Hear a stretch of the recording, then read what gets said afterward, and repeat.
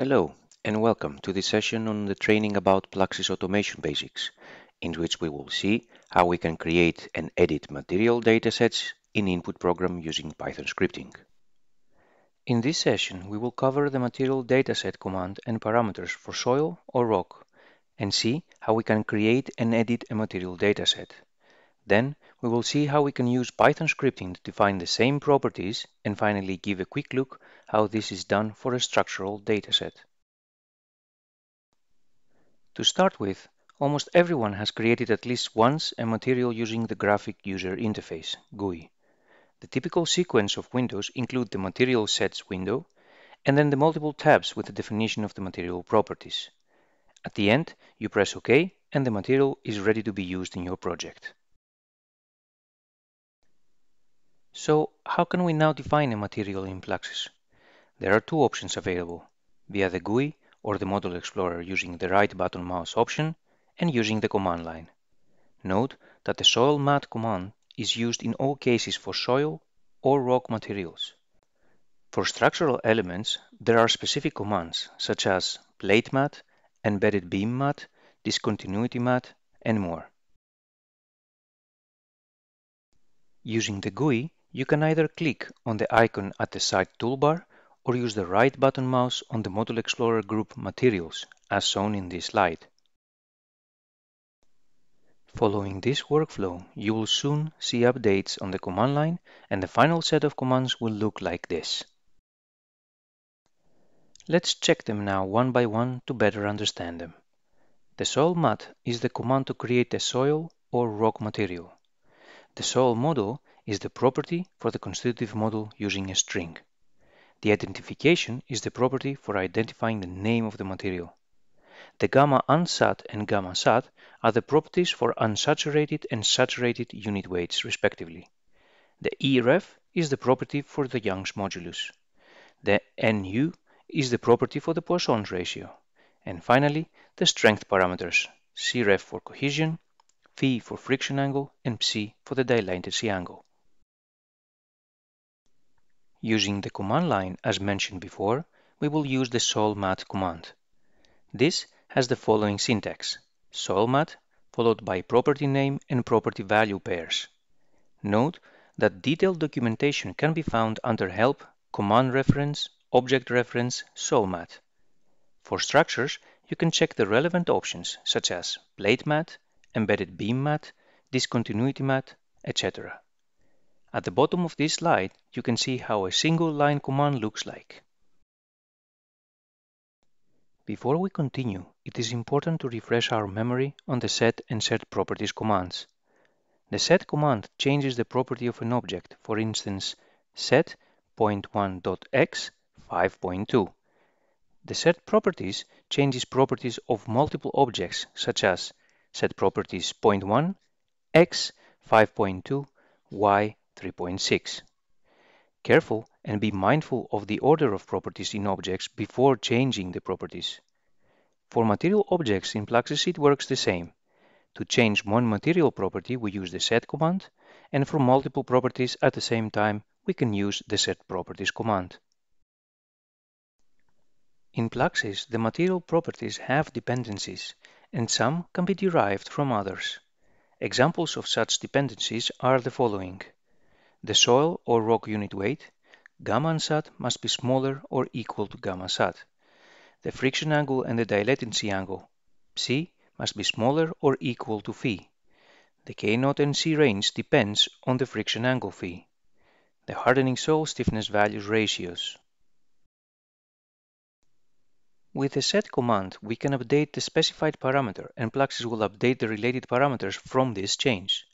For example, in a hardening soil material, we can say set sand.v to 30, and this will implicitly update K0nc and K0 primary to 0.5.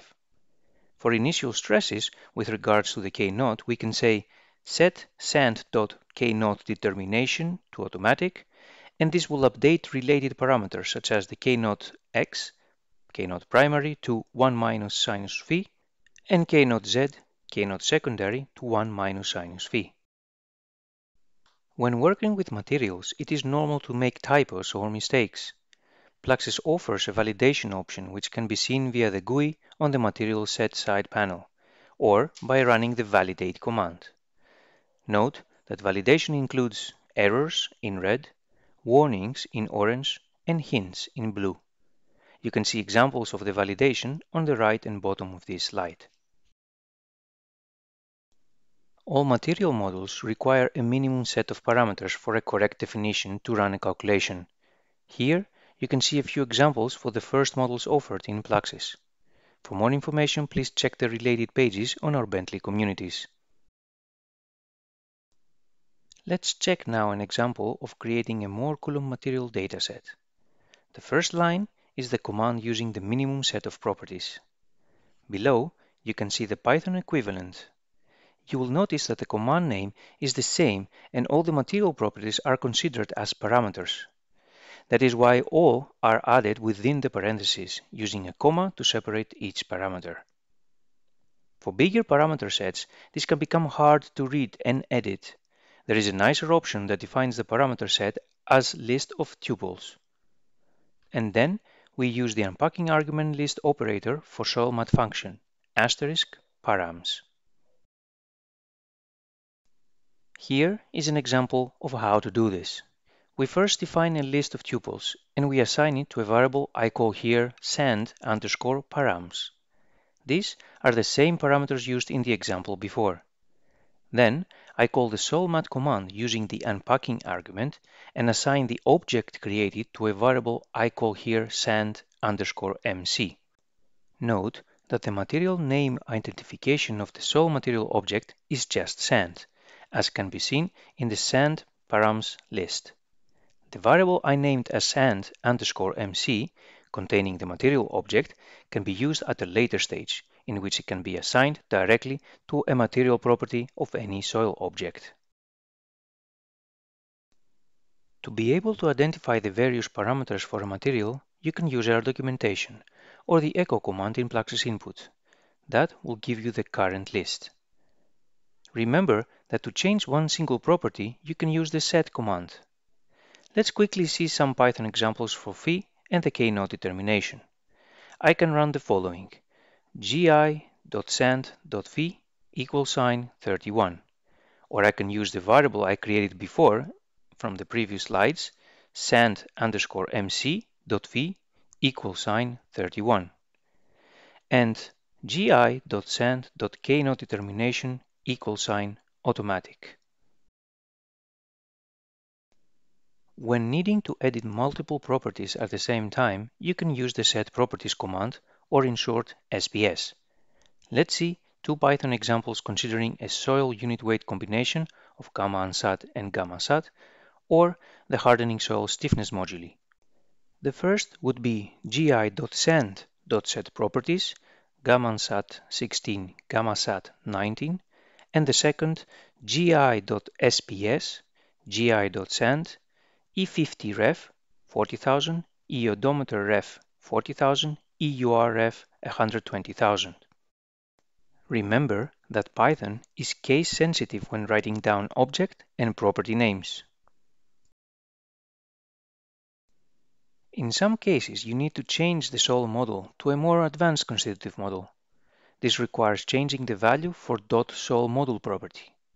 Accepted values can be provided using the string-based values for clarity, such as Mohr-Coulomb, hardening soil, HSMO, etc. Notice that these are in quotation marks indicating a string. The strategy usually in this case is to change the required soil parameters using the set properties command.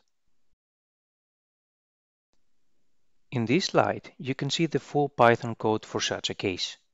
We first define a new variable called hs underscore params, which contains a list of tuples with the new properties we need in order to define a hardening soil model. All we need afterwards is to run the set properties command.